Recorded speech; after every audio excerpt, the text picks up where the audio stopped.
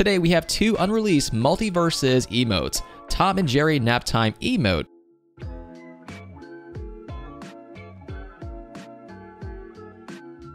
and Finn's chest pound emote.